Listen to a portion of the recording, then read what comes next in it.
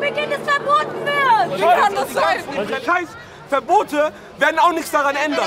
Wut, Empörung, dass sie nicht für ihre Palästinenser demonstrieren dürfen. Grund für die emotionale Explosion, diese Durchsage der Polizei.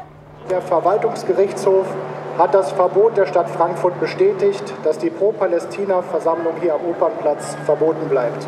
Alle, die daran teilnehmen wollen, mögen sich bitte entfernen. Sie haben den Lautsprecher gehört. Sie dürfen an der Demonstration nicht teilnehmen. Sie kriegen jetzt einen Platzverweis von mir ausgesprochen, der ist umgehend umzusetzen. Und wenn Sie diesen nicht umsetzen, werden wir Ihnen helfen, den Platz zu verlassen. Aber Sie haben jetzt zwei Möglichkeiten, genau jetzt. Getan. Sie dürfen gehen oder wir begleiten Sie. Ich habe doch nichts getan. Es ist eine Enttäuschung, weil unabhängig von der Meinung, wie man halt dazu äh, steht, da sollen halt äh, da sollen die Menschen die, Frei da sollen die Menschen die Möglichkeit haben, ihre Meinung äh, zu, in Öffentlichkeit zu sagen. Also, dass man das erlaubt, dann ein paar Minuten später, ein paar Stunden später wieder äh, verboten, verbietet den Menschen.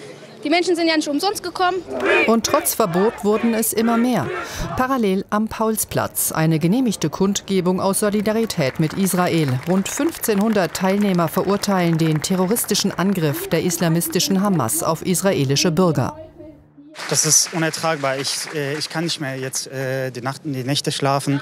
Und wenn ich die Videos auf Telegram oder auf Instagram oder irgendwelche sozialen Netzwerke, Netzwerke sehe, das ist, äh, das ist schrecklich. Dieses Blutbad, das ist für mich unfassbar, muss ich ehrlich sagen. Ich möchte mit meiner Familie einfach die Solidarität ausdrücken. Ähm, äh, dort werden Kinder enthauptet. Ich habe eine kleine Tochter. Wenn ich mir vorstelle, dass es meiner Tochter passieren würde, ähm, das, das reicht mir schon als Grund, hierher zu kommen. Dass der Verwaltungsgerichtshof in Kassel das Verbot der pro-palästinensischen Versammlung in Frankfurt heute bestätigt hat, hält man hier für richtig. Wer jüdisches Leben angreift in unserer Stadt, der greift unsere Stadt ein. Und dagegen werden wir vorgehen, meine sehr geehrten Damen und Herren. Das wurde dann auch nötig, denn nach Räumung des Opernplatzes sind die pro-palästinensischen Demonstranten nicht nach Hause gegangen, sondern haben sich illegal gesammelt in der Innenstadt.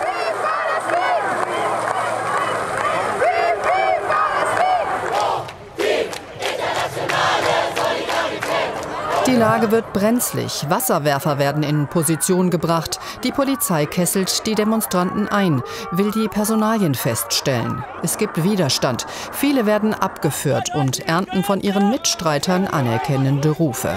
Ruhig bleiben!